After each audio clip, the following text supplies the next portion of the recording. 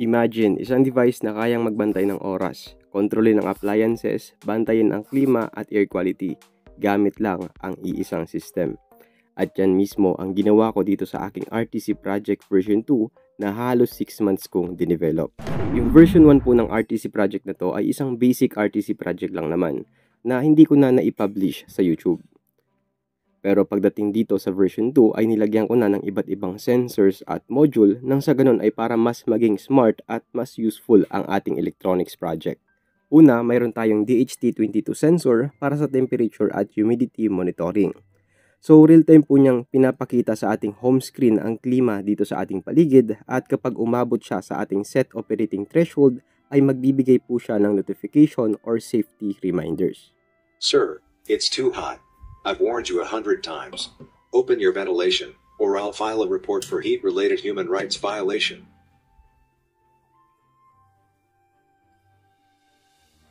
Mayroon din tayo ng LDR or Light Dependent Resistor na nagsisilbing darkness sensor. Kaya nagagawa po ng ating RTC project ang magbigay ng babala kapag madilim o mababa na ang ambient light sa ating workplace o sa ating working area. Sir, forgive the intrusion. I noticed the lighting is a bit dim. While you continue your work, would you kindly consider enhancing the brightness for your own well-being?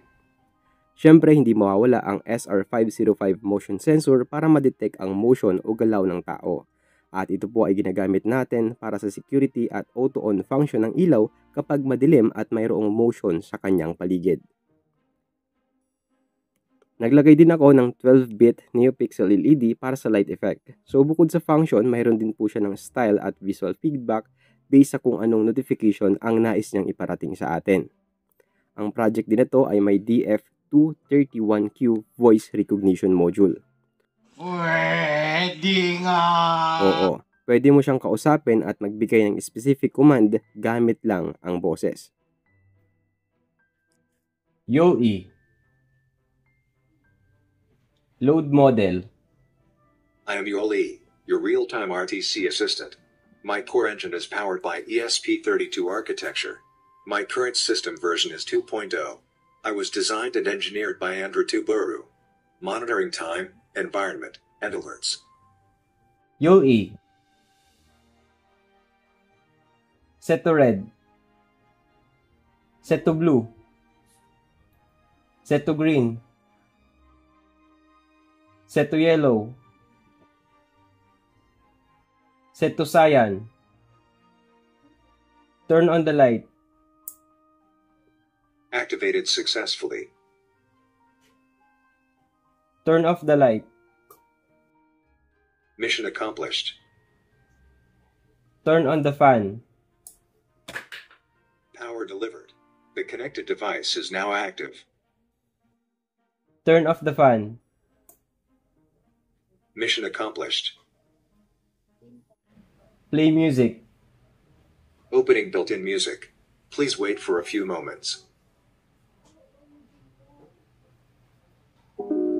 Maraming beses na kitang nilayasan Kung ayaw mo namang gumamit ng voice command, pwede ka rin gumamit ng IR or infrared remote control para sa kanyang operation.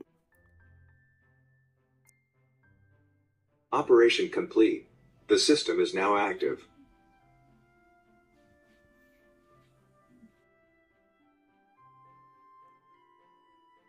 Mission accomplished. Okay, sir, I hear you. Wait a second. Relay activated. Your device is now running.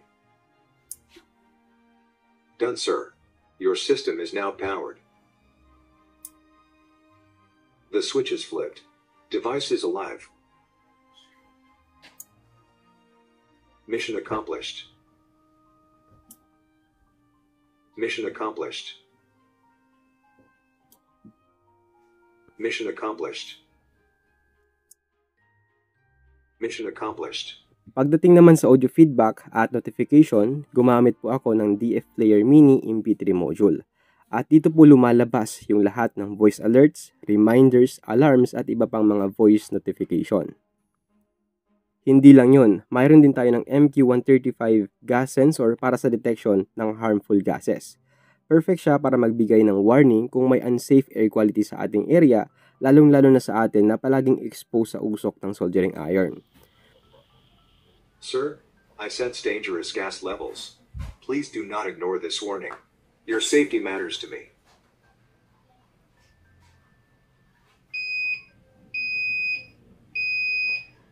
Well, alam kong hindi magandang choice ang MQ-135 para sa ganitong application. Sa ngayon po kasi, yan lang ang available gas sensor dito sa akin pero in near future ay papalitan ko lang din naman yan. Sa display side naman ay gumamit ako ng 20x4 LCD. Mas malaki at mas clear. Kasyang-kasya ang oras, petsa, temperature, humidity at iba pang mga system messages.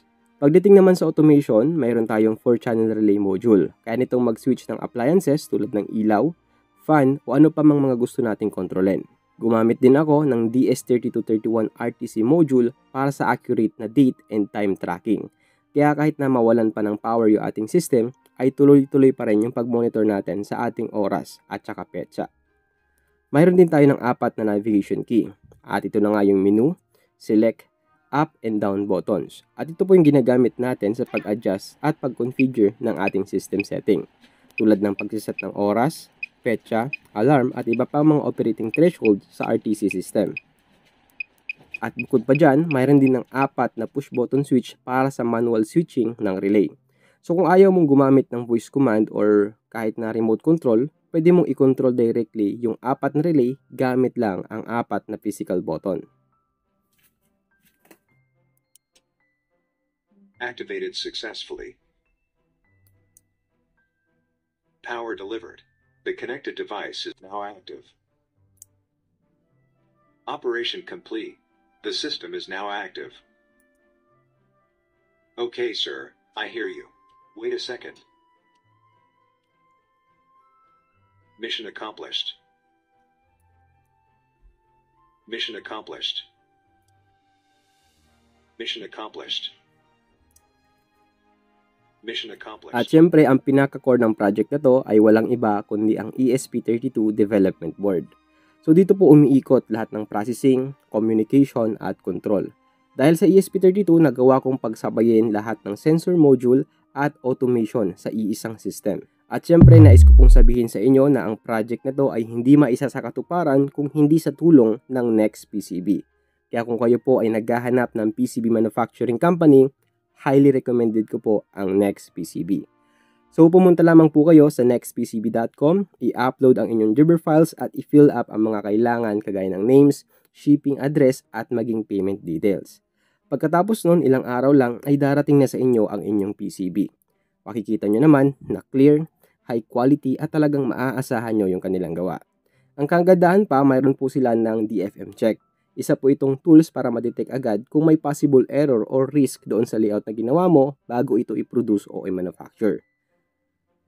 Kaya kung isa kang DIYers, engineer o hobbyist, siguradong maire-recommenda ko ang Next PCB. Well, ang actual design talaga ng project na to ay gagamitin ko sana bilang isang garden monitoring system, kung saan kaya na niyang mag-stand alone sa pag-alaga at pag-monitor ng pananim. At kung saan din hindi na kailangan ng farmers ang manual checking. Pero dahil sa kinapos tayo sa pondo, ito muna yung ginawa ko, pero pwede naman itong i-revise at i-upgrade. Siguro kung gagawin ko to ng version 3, ima-maximize ko yung Bluetooth function ng ESP32 para pwede siyang mag-communicate sa isa pang RTC project gamit lang ang Bluetooth at makapagbigay ng specific command gamit ang DF231Q voice command module. Sa tingin nyo mga ka-DIY, ano pa kaya ang pwede kong maidagdag kung gagawa ako ng version 3? Comment nyo dyan sa baba, baka yung idea nyo na ang susunod kong gagawin. Muli, ako po si Andrew Electronics na nagsasabing, stay humble and be creative. Maraming salamat. The